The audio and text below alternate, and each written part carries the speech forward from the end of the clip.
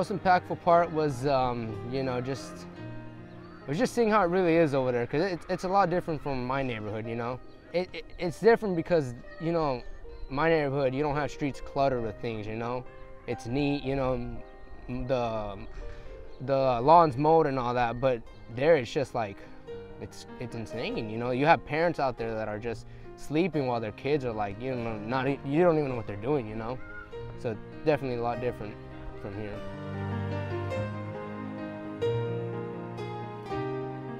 You know, I'm just like every year just growing closer to God. Uh, you know, loving these kids, spreading hope to that town right there, showing these kids that uh, you know there's people that love them